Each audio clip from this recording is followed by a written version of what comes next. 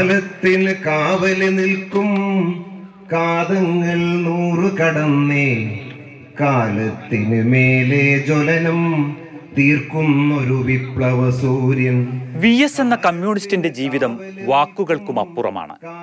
പുന്നപ്ര വയലാർ വാർഷിക വാരാചരണത്തിന് തുടക്കം കുറിക്കുന്ന ദിനം തന്നെ അതേ സമരത്തിന്റെ നായകൻ ജനം നെഞ്ചിലേറ്റിയ വി എസ് നൂറിന്റെ നിറവിലെത്തുമ്പോൾ ആഘോഷങ്ങൾക്ക് ഇരട്ടി മാധുര്യം. പാർട്ടിയും വിവിധ കൂട്ടായ്മകളും വി എസിന്റെ ആരാധകരും ആലപ്പുഴയിലെ ആഘോഷങ്ങൾ കളറാക്കി. വി എസിന്റെ വീട്ടിൽ ജില്ലാ സെക്രട്ടറി ആർ നാസർ കേക്ക് മുറിച്ചു.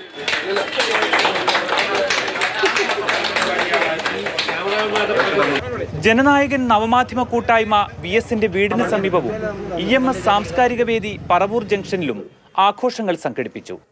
വി എസിന്റെ കുടുംബക്ഷേത്രമായ മണ്ണഞ്ചേരി പടിഞ്ഞാറ് മാലൂർക്കാവിൽ ബന്ധുക്കൾ പ്രത്യേക പൂജ നടത്തി. ഇവിടെ വി എസ് വരാറൊക്കെ ഉണ്ടായിരുന്നു. നന്നായിട്ട് ഓർമ്മയില്ല. ക്ഷേത്രത്തിന്റെ കാര്യത്തിൽ കാര്യത്തിൽ പുള്ളിക്ക് വലിയ മതിപ്പില്ല.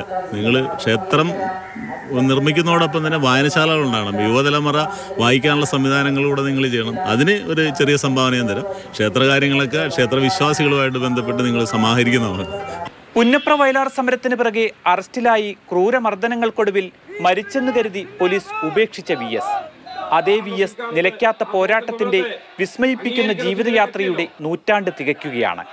ആഘോഷങ്ങളിലൂടെ ഓർമ്മകളിലൂടെ വി എസ് വീണ്ടും ഹൃദയങ്ങളിൽ നിന്ന് ഹൃദയങ്ങളിലേക്ക് പടരുന്നു. മാതൃഭൂമി ന്യൂസ് ആലപ്പുഴ.